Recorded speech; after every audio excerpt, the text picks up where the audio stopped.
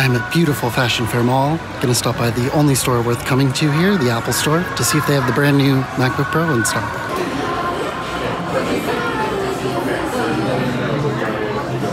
Hi, sir. Hey, Alejandro. Bro, good, to, see see, you, bro. I'm just seeing if you guys got the new MacBooks and stuff. Yeah. All right. Yeah. What's up, dude? Oh, you know, I just wanted to see if you guys had the new MacBooks and stuff. We do indeed. Yeah. You want to send someone to me when you when you got someone? Because I think I'm Do gonna just. Have an Of course not. Which one were you looking for? Uh, Just a base model, 14 inch in either either color.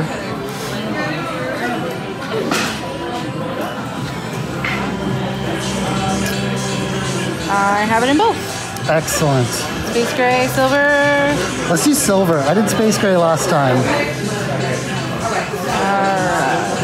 330. Okay. That's what I got. Should I should I leave and come back? Um, you don't have to, but it'll probably be 3:30. that long. All right. But yeah, I'd probably come back at 3:30 just because I have a bunch of people checked in right now. All right. No sweat. It's all good. Thank you.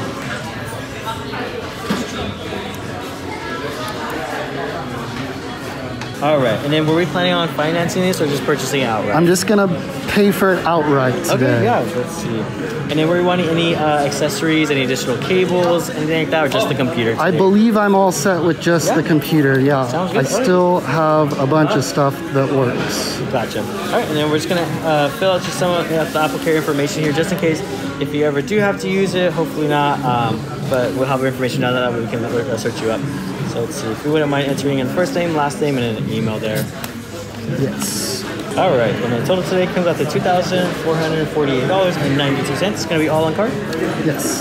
Did you want a bag with your purchase today? Uh, yeah. If you've got one, Definitely, yeah, we got one. Send the email there. Um, were you wanting to set up here in store or just take it home? I'm good. I'm good. Okay, Thank I'll you. Grab your bag. I'll be right back. right? Thanks.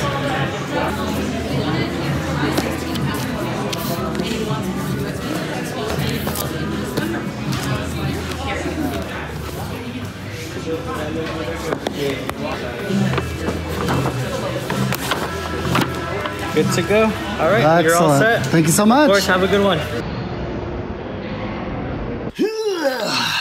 Here we are, back in my office. We haven't done like an unboxing in my office in a hot minute. Hot minute? Hot minute. This is pretty cool. Uh, here is the new MacBook Pro. Fun fact, I guess these uh, these are made entirely out of recycled paper, including the handles. Uh, that's pretty cool. Weird, because I thought recycling wasn't real, but I guess it is. Just kidding. Recycling is real. It's just very, very limited in its scope. Um, I haven't opened one of these in a while. I remember it. I think the last MacBook I got, it it still came in plastic. This is my 20 late 2018 15 inch MacBook Pro. It's also the base model 15 inch.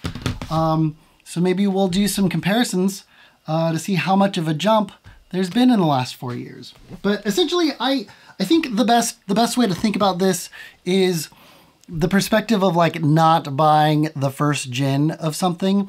Um, last year, the M1 Pro and Max MacBook Pros came out, and a lot of people are like, I, I don't buy the first gen of things when the revision happens. And sometimes I'm with you. Sometimes I like to I like to buy the new thing, but in this case, I did wait.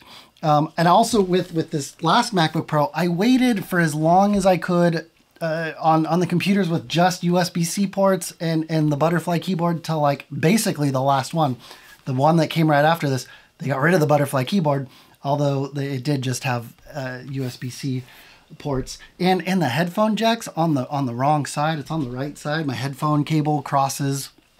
They fixed that with a lot of the stuff last year, and and I, I've been very fortunate to get to use last year's M1 Pro MacBook uh, at work, and I, I have that perspective. But this one, this one, I, I could be mine. I, I guess I, if I don't like it, I can still return it. But I'm pretty sure this was mine. Also, yes, not sponsored.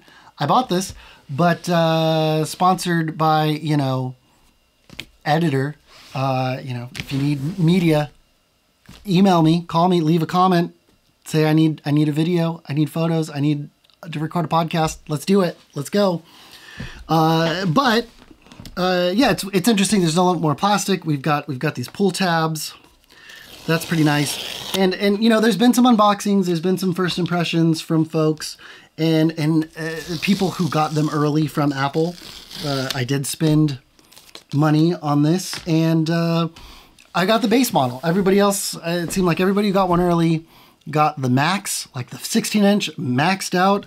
Uh, I want to see, you know, the computer that everyone's gonna, ev- all the college students, uh, your mom, you are probably gonna buy the base model. It's two thousand dollars, which is still not easy to swallow. You know, with with the computer with three years of Apple Care, although you can do Apple Care for ninety nine dollars every year in perpetuity until you, the computer can't be fixed anymore.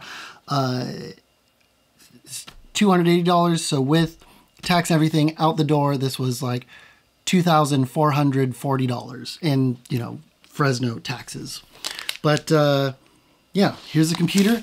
I, I, went silver this time. My last computer, I did I did space gray, and uh, I, I, did put a dbrand and a bunch of stickers on it.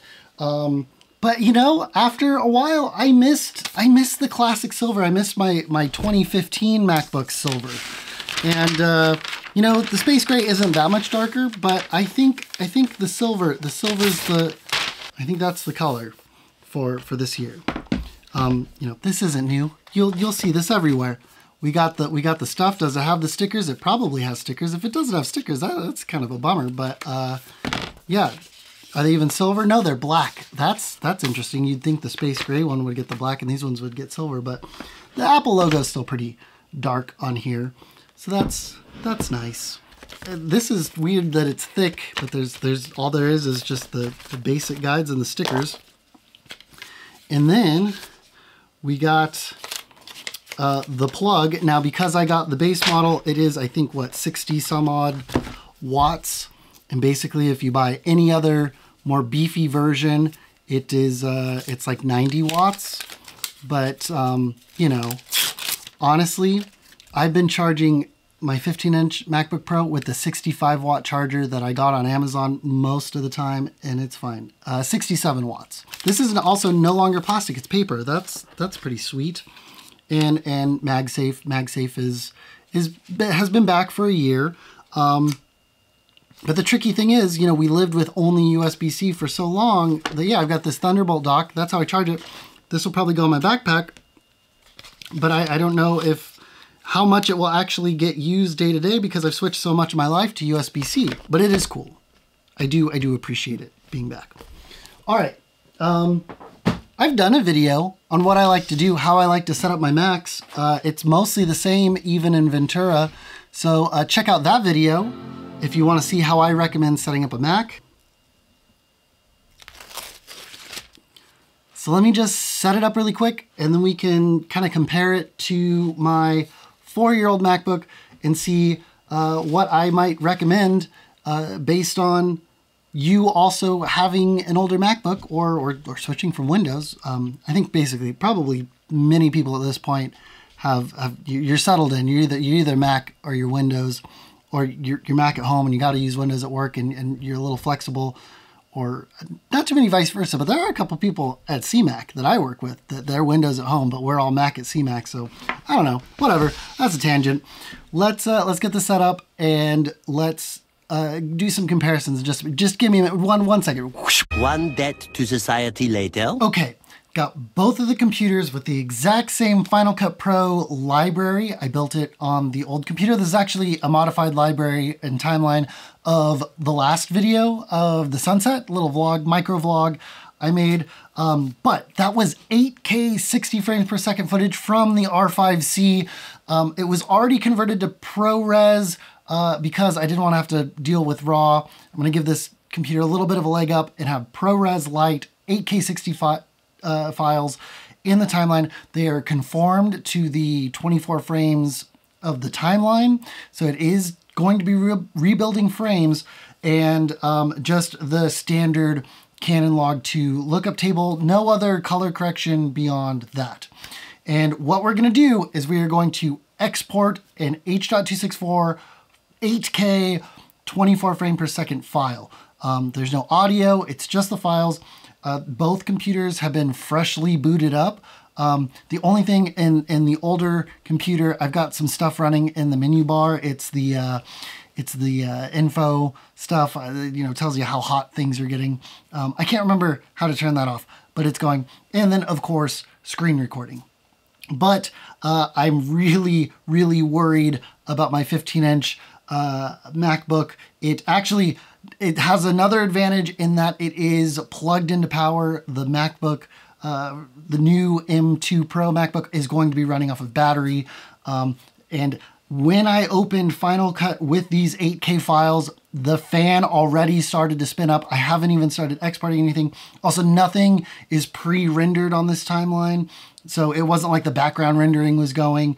It, it was already kicking up the fans. Uh, but also, yeah, this this computer is four years old. The battery did get replaced with when I got the butterfly keyboard fixed, uh, maybe almost a year ago, not quite a year ago. So it is less than a year old battery, but it is already seeing uh, some some hits on the battery.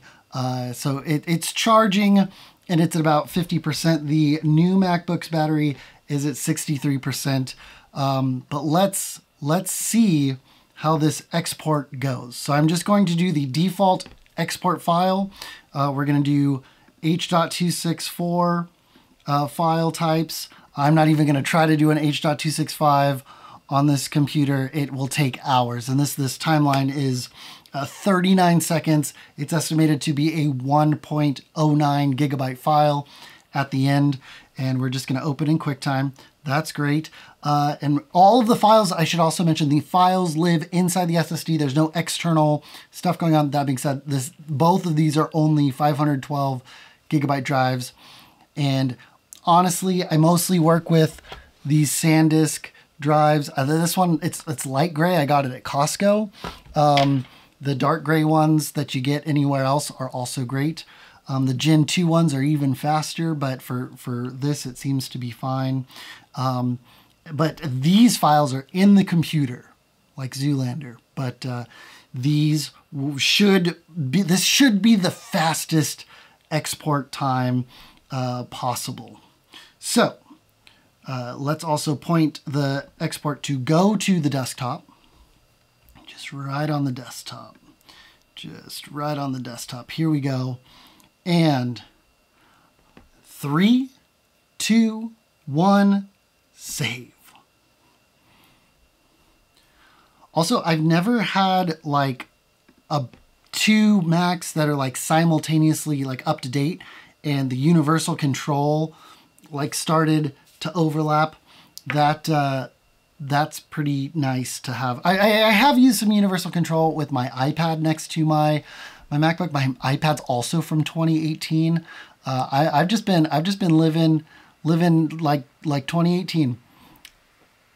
You can hear the fan has kicked on on the 20 late 2018. It's an i7. It's the base model. I don't know the other specs. It's it's 512 gigs of storage, and both of these are 16 gigs of RAM. But um, we're at 18%. We're at 6%. Things are moving. We are we are currently at three times the speed of export. We were at 21, we were at 7, now we're at 24, we're at 8. So yeah, basically three times the speed of this computer in terms of exporting. Now, exporting is mainly working the CPU on this Intel because it, it is a CPU and a GPU that are totally separate. It's got the uh, Intel CPU and the AMD GPU, and this is all you know one system on a chip from Apple, the M2 Pro. Um, and exporting really on, on traditional computers with separate CPU and GPU, exporting speeds are handled by the CPU. The GPU is only really handling the in the moment thing. So when the GPU is really important when you've got uh, a whole bunch of clips in your timeline and you've got effects on it and you don't want to pre-render things, you just want to watch your computer suffer and try to show it to you, that's the GPU. But in terms of like cranking out a video, you've, you've got it in your timeline and it's time to export it and you got to get it uploaded because the deadline's coming. The, everybody who got the stuff early in the embargo came by and you're playing catch up. Uh, that's where the CPU matters. But uh, the GPU matters in the in the real time stuff, and that's what people are also seeing. They're seeing 8K footage layered up and and doing boxes and uh, layering crazy blur effects or film emulation. That's the GPU working. Um, wow, we have uh, still still basically three times speed because we were 22% and 66% here. It is quite remarkable how like exactly it is three times the speed, 300% faster CPU four years later, five, four-ish, a little bit, four and some change years later. That said, the fan has kicked on on the M1, M2 Pro MacBook Pro. It is quieter than the 2018 MacBook Pro. Here's a little sound.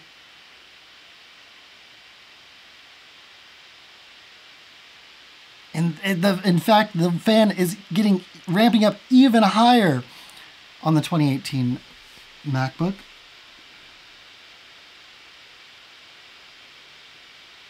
But it's still, it, you know, we did cause this to kick on. Now, we are exporting H.2. Oh, and it's done.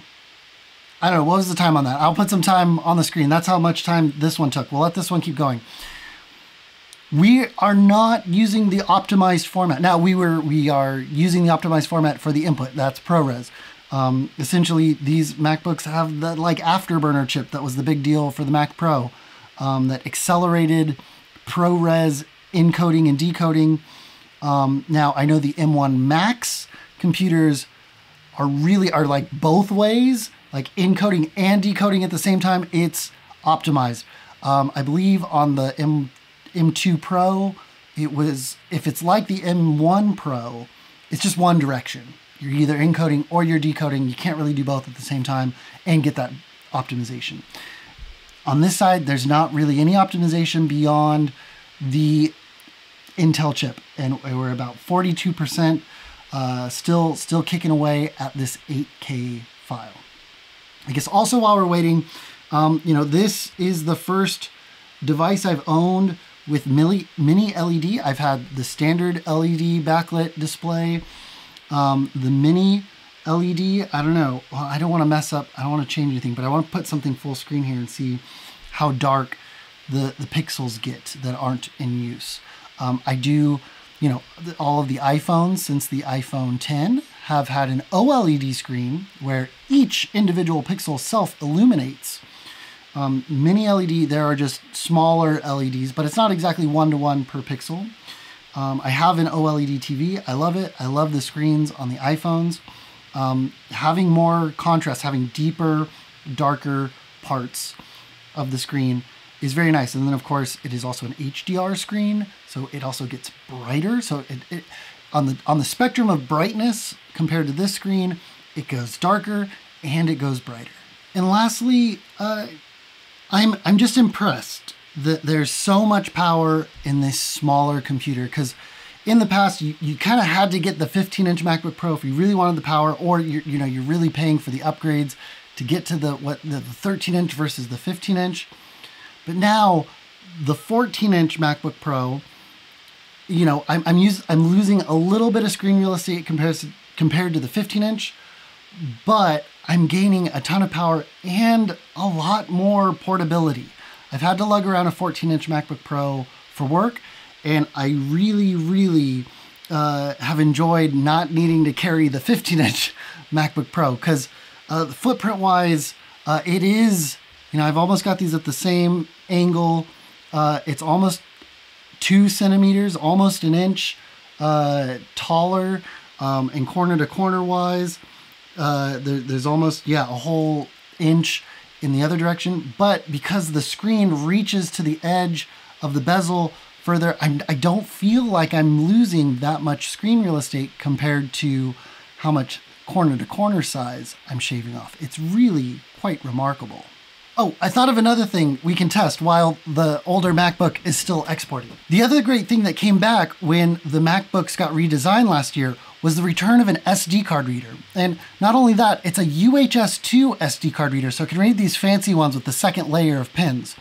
Now, on my M1 Pro MacBook Pro I use at CMAC, one of the things that kind of annoyed me was I wouldn't always get the the SD card to read on the card reader on the first try. Now that might just be that particular MacBook that I use, but I want to know if I put now this is a pretty well used, well loved uh, SD card. It's it's it's got some some uh, not corrosion, but some scratches on the pins. So it, has been used a lot. I get this gets used in my R5C and my C70 all the time, but I want to see if it mounts right away on the new MacBook Pro. I just popped it in and there it is. It came right up. Uh, you know, I know some people didn't really talk about the SD card slot. Like they were just like, yes, I'm happy the SD card slot's back, but that's all they that's all they said. But it is, you know, a relative. Oh, the Intel Mac is done. Uh, I don't know how much time that was. I'll put it. I'll put it on the screen. I'll pull it from the file. Um, and yeah, here it is.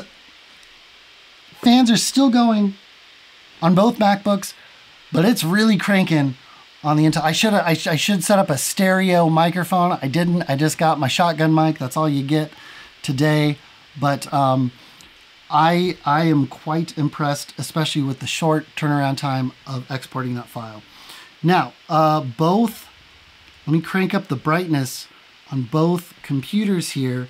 It's looking pretty good. I'm gonna hit full screen here. But yes, uh, the the the mini LED screen does just dip into the dark shades quite nicely. Let me see if I can catch this on camera. So here is the Intel MacBook and you you can see there's a little bit of illumination behind the black behind these uh, white uh, icons here. But over here on the new MacBook Pro, um, there is not nearly as much uh, you know, depth in, in the in the black. Now, I, I'm I'm not really noticing any bleed, but I also have my big YouTube light on. Uh, here, let me let me turn off. Hey, turn off Kyle's YouTube light. Yeah, I'm not really noticing any any light bleed, whereas I actually experienced some light bleed on this older uh, Mac, uh, just kind of in the bezel was it this one? Maybe it was my 2015 one. Maybe it wasn't this one. Maybe this one's, the screen has been fine. The keyboard, I did have to have the keyboard worked on uh, once. Also, the headphone ports on the correct side. That's quite nice because um, most of my headphones, my over-the-ear cans, the, the cable comes out of my left ear can and I want it to go into the my left side or the right side of the computer. I don't know. Computer stage, stage right uh, of the of the computer side there. Um, and I'm, I'm very happy about that. That's a really small thing. The keyboard still feels great. Uh, the return of scissor switch keyboards is, is so nice. And um, the, you know, I, I didn't mind the touch bar. I thought the touch bar was, was perfectly fine. Um, I, I, I, got used to it and there were tools that helped me optimize using the touch bar, making it more versatile. So it didn't, it didn't really like grind my gears as much as it did for some other people. But it is nice to have the physical keys. They're always mapped. I always know where to turn up volume and turn up screen brightness or turn down screen brightness if I needed to. I don't have the new Wi-Fi 6E. I think I've just got like Wi-Fi N. It's it's plenty fast. I think yeah, the only other thing that would be really cool is we've got some really fun tech at CMAC and having a 10 gigabit Ethernet port would be nice, but I like I get it. I can get a USB-C one or Thunderbolt one to plug in. It would be another dongle I've got to carry around, but you know, that's that's where that is. HDMI 2.1, but being able to do 8K over HDMI or or even 4K 60, I think, over HDMI is 2.1 will be quite cool, especially, you know, utilizing my fancy new cameras and being able to push that much data through through HDMI seems pretty cool. I, I don't have any displays that can do 8K yet, but maybe eventually, and this this computer will be ready for it because I do have a camera that can record 8K 60, so that's pretty nice. So who is this computer for? The weird thing is, is I felt like almost everybody, I felt like the only person who did not upgrade to an M1 Pro, M1 Max MacBook. I was the only one holding out doing the, I don't, don't buy a first gen thing. But if somehow you are like me and you're still your primary MacBook or even just computer in general is an Intel based computer and, and you made it this far, this is a huge jump. Three times speed, almost consistently three times speed on that whole export running off of battery. This being, you know, not the top of the line, but being being the, the model that most people buy, the baseline MacBook. I think if you still have an Intel Mac and you do heavy duty stuff, this M2 MacBook is a good get. People are getting close, other the competitors are getting close, but I still think Apple makes the best laptops. And and you know, they've set that margin even further with these latest chips. That said, I've spent a lot of time with the M1 Pro. Um, it also it's not the base model; it's the one just above the base model um, without any chip binning. Um, so the 10 core uh, processor um, or 10 core GPU, I forget its numbers. Uh, that is still a great computer, and I think it's still in stock a lot of places, and it's probably currently discounted. I'm sure if you went into your local Best Buy, maybe even the Apple Store, your local Apple Store, if it's like this week, if you're if you're watching this right as I release it and as these new MacBooks come out, I think if you can find a good deal on an M1 Pro, and you've already you've obviously already waited this long. You haven't let you haven't let FOMO get to you, or or the Intel computer is still doing what you need it to do. The M1 Pro is good, even especially considering it's a first gen pro, like you know first gen redesign. They really nailed it. Uh, Apple hit a home run with the M1 Pro 14 inch MacBook Pro. This is just like the next little bump. This is just a bump on a lot of things the processor, the GPU, the HDMI, the Wi Fi. Um, I didn't even test the speakers. Maybe the speakers are even tuned just a little bit nicer than last year's. Possibly. Uh, well, if you want me to do that test, leave me a comment. So it's hard. It's hard to recommend. I don't know. I might, if I want to save some money, maybe I will return this and pick up an M1 Pro because I didn't have any issues with the M1 Pro I've been using at work. You know, I, I do run into issues with this computer. This computer basically sits on a desk because the battery's kind of not that great and it's it's bigger and heavier. I think with this computer, I won't try to compromise my travel with an iPad. I'll travel with this. So that's where it is. If you've still got, you know, a 20 eight, late 2018 or earlier Intel MacBook and you're feeling like the battery's toast or it's not moving as quickly as I want it to, this is great, but so is the M1 Pro. So if you can find an M1 Pro on sale, might be the way to go. If you're watching this like six months later, a year later, and the M1 Pro is all that's left, it's great. It's fantastic. I hope you're able to find it a little bit cheaper than list price. If you know some students or you are a student, there's always this Apple student discount um, or, or if you work in the military or certain certain corporations have corporate discounts. I just bought this one right. I, I walked into the Apple store. I bought the base 14 Pro because I think that's what most people are going to buy, and I think it's great. But I also think the M1 Pro is great. Weird times we live in where just, you know, we're flying off at the seat of our pants for, for new technology. Um, even if it doesn't seem exciting, you know, people don't think like phone stuff is as exciting. People are using things for longer. Don't have to buy a phone every year. Don't have to buy an iPad every other year. Don't have to buy a Mac until like every four years. Um, it's a which is great for consumers. If your stuff can last, I'm a big proponent of only buy it when you need it. But I was starting to need it on the MacBook side. I'm to hang on to this MacBook because it's the last Intel computer that I've had, and it is basically the second to last Intel Mac. And I think that uh, there may be some things, there might be some plugins, there might be some apps that don't run well, even though there is the Rosetta stuff to translate it over. I'm to hang on to this just in case. And I think I'm to hang on to this computer. I got to talk to Gilbert. Uh, maybe maybe we'll uh, podcast about it. Anyway, that's it for today. I hope you've enjoyed this. I hope I, I helped you either point you in the right direction of the computer that you need or helped you realize you don't need a new computer and you can save your money. If you like this video, give it a thumbs up. If you want to see more, hit subscribe, and I will see you next time. Peace.